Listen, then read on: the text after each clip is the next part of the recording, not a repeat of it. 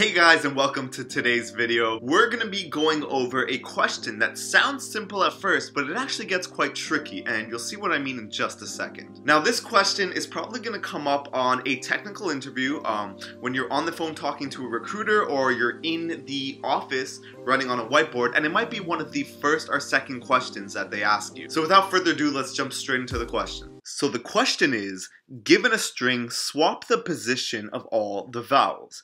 And as you can see here, we have two examples. So in the first example, we have the string apples and oranges. Now, what we do is we swap the leftmost vowel with the rightmost vowel, and we keep moving inwards until we've swapped all the vowels and we have our output string. And in this case, our output string is eplas and arengas uh, which sounds like something from a different language, but that's pretty much the idea of it. Now we can see in this situation we have an odd amount of vowels, so U has nothing to swap with, and therefore the U in journal stays in the same location, while the A and the O end up swapping. Take a minute, pause the video, and see if you could come up with a solution to solve this problem on your own. Alright, now there are a lot of solutions that come to mind, but the ones I want to focus on include using what's called a runner or a cursor. Now you can think of these cursors as pointers, and each one of these pointers points to a specific character in the string. So let's take two pointers for this example. We're going to use one pointer to start at the beginning of the string and one pointer to start at the end of the string. And what we're going to do is we're going to check to see if the character it's pointing at is a vowel or not. Now in this case, A is a vowel. In this case, S is not. So once our leftmost pointer finds a vowel, what we do is we come to the rightmost pointer and we keep moving it inwards until it finds a vowel. Now we can see as we move it to the next value, as uh, which would be E, E is indeed a vowel, and all we have to do from there on is swap it. And we keep on going until each pointer reaches the middle of the string and they're both pointing to the same character, at which point we can stop. So depending on the language you're going to be using, swapping these vowels is going to be a bit tricky. Now, here's where the trick comes in. In most languages, strings are immutable, which means you cannot edit characters that are in place. I can't simply change this A into an E and swap it as easily. For languages like C, that would work, but for Python, we can't actually do this in place, which means we're going to have to use extra auxiliary memory. So to do this in Python, if we're given a string, what we're going to have to do is use an extra data structure to keep track of where these swapped vowels will end up. That way we can reconstruct and return the new string. So as you can see here, I am using a hash map. And for those of you that aren't familiar with hash maps, the way it works is it has a key and a value. The key pertains to the value. If you're still having trouble and you don't quite understand hash maps, check out one of our previous videos. I'll put a link in the description below and you can understand how to use hash maps and come back to this video. So what we're going to do with this hash map is we're going to record the new location for our swapped vowels. So in this case, our first pointer finds the vowel A at the beginning of the string. Our second pointer starts at S and then we iterate it one character inwards and it goes to E. Now what we want to do is swap the locations of this A and this E. We can see that this A is in location 0 of the string. This E is, I believe, in location 16.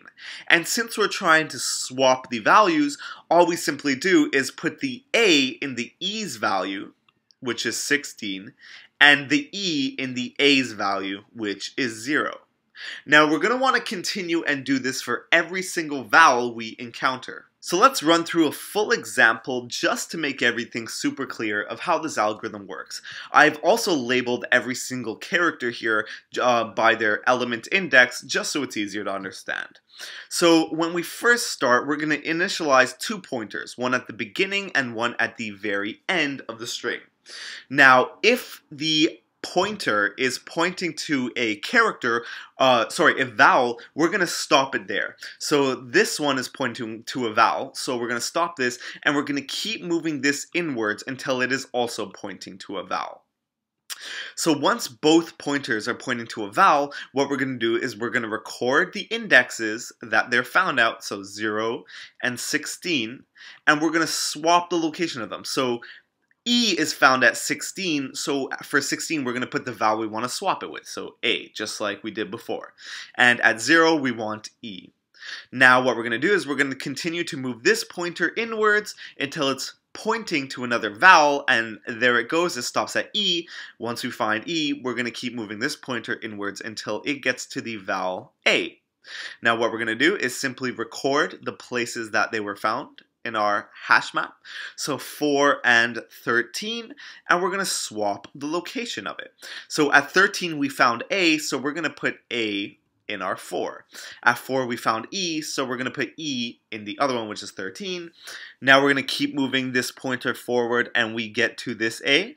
We keep moving this pointer forward and we get to this O. We're going to record the locations. So at 7 we found A, so we're going to put an O instead. And at 11 we found O, so we're going to put the A there instead because we want to swap them. Now we're going to keep moving inwards until eventually either both pointers overlap or they cross each other. And as soon as they cross each other, we can end our algorithm. So now the last matter we have to deal with is simply recreating our new string with these swapped vowels. Now a way we can do that is just iterate through our old string and if the value in our old string is a vowel, we just find the new thing that belongs to be in that index. So we start with the first, uh, the zeroth element and our zeroth element is a vowel. Therefore, we check our map and we see that E goes to the zeroth element. So we simply write an E here. We then go to our next element and we see it's not a vowel, so we simply append it append it again for the next one. We go to the next one and we see that is also not a vowel, so we append it. And then we go to the fourth element here, which is a vowel. So we would simply look at our map and we would say, okay, uh, what is the fourth element supposed to be? And we can see here a fourth element consists of A. Then we continue doing this until we have the entire string written out. So I've skipped a bit forward just to save you the uh, torture of watching my terrible handwriting, but this is the output we would get, and all we have to do after that is simply return it. In an interview, the recruiter will probably ask you for the time and memory complexity of your solution after you've given it to them. So, as we can see here, we're traversing through the string with two different pointers, um, which means because the string has n elements, right off the bat we have a complexity of n for traversing through the string, because we have to go through all n elements. Now, the only other time-intensive operation we have is returning and reconstructing the output string, which will also have n elements. So in turn, we have around 2n um, operations, which means our time complexity will be big O of n worst case scenario. Now, the memory complexity is a bit more complicated. As we stated earlier, if your language allows you to change the values inside of a string, the memory complexity, the auxiliary memory complexity, would actually just be big O of constant, big O1. But in our case, since we can't do that, we actually have to use a hash map and another string to return it. And worst case scenario for the length of this hash, hash map, as well as the length of the string we are returning, is also going to be O of n, as in we will, worst case scenario, be storing as many elements as there are in the input string. Now let's take a look at some code. As you can see here, the first thing I want to do is quickly construct a function that can pretty much just tell me whether a character is or is or is not a vowel. Now this is important because you want your code to be very modularized. You don't want random code sitting everywhere and checking whether a string or a character is a vowel or not is something we're going to have to do often. So I'm simply going to create a string with all the vowels inside of it and I'm just going to say if that character that I'm taking in is inside of this string that contains all the vowels, return true, and if it's not, simply return false. Now the next thing we're going to do is we're going to create the function where we're actually going to swap the vowel and we're going to take an input parameter called imp which is just the initial string. Now, the first thing we want to do is set up our pointers and our swap map. So to do that, we're going to get the length of the input string and assign it to this variable input length, and we're pretty much going to make the left pointer and the right pointer. Now remember, the left pointer actually starts at the beginning of the string, while the right pointer starts at the very last element of the string, which is why I've set these values equal to 0 for the beginning of the string and input length minus 1 for the last element of the string.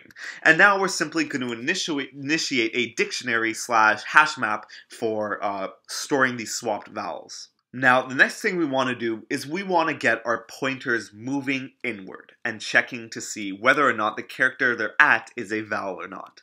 So we're going to initialize a while loop, and like we said, we want this to run until the left pointer and the right pointer have either has either crossed over or hit the same point. So we're going to do if let while left pointer is less than or equal to right pointer. Now, the first thing we're going to do is we're going to check if the left pointer has hit a vowel or not. So if is vowel, we're calling the function we made here, and then we're simply passing in the value, the character that our left pointer is currently at. So we're saying if it's not a vowel, we're going to increment the pointer and we're going to continue. So like we showed in the example, we want our left pointer to keep incrementing through the string until it hits its first vowel. And we do that by incrementing the position of our pointer by one until it hits a vowel.